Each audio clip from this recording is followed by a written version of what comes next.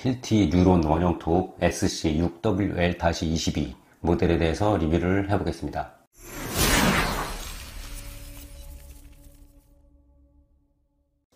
날의 지름은 165mm가 되겠고요. 최대 커팅은 60mm까지 커팅을 할 수 있습니다.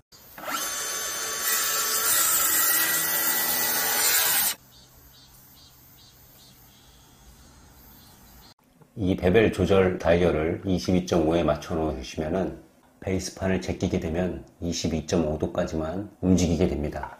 각도 조절 다이얼을 45까지 맞추시게 되면 베이스판이 45도까지만 이동을 하게 되고요. 53도까지 맞춰주시면 최대 53도까지 베벨 각을 조정할 수 있습니다.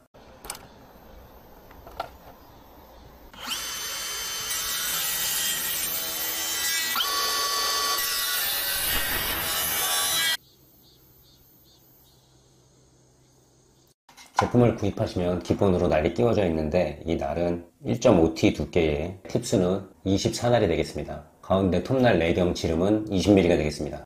날을 교체하기 위한 육각 렌치는 이 부분에 들어 있습니다.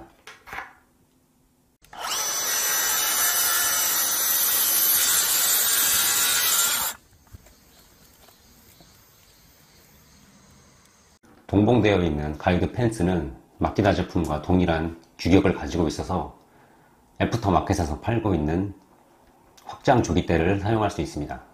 가이드 펜스를 고정하는 방법은 원터치 레버 방식입니다. 간편하게 되어 있습니다.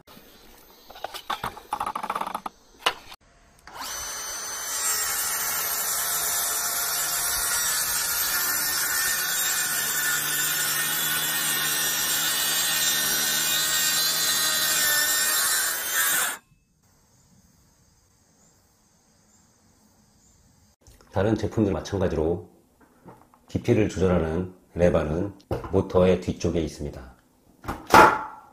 이렇게 풀어주시면 이렇게 위아래로 깊이 조정이 가능하고요. 이 안에 보시면 인치와 센티미터 단위로 깊이를 조절할 수 있는 눈금이 제공되고 있습니다.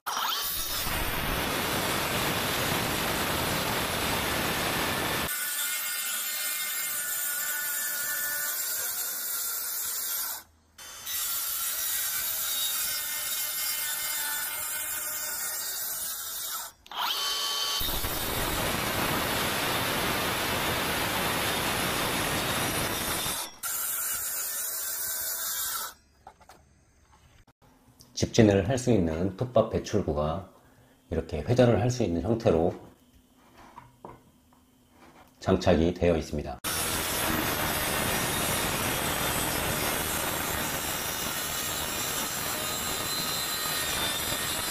LED 조명이 측면에 장착이 되어 있습니다. 여기 보시면 후크가 달려 있는데요. 이 후크를 사용하는 방법은 이렇게 돌리면 회전을 하게 되어 있습니다. 회전을 한 상태에서 원하는 방향으로 앞이나 뒤로 조절을 하여서 작업을 하다가 거치를 시킬 수 있습니다. 다시 원상태로 하실 때는 아래로 내려주시면 이렇게 수납이 됩니다.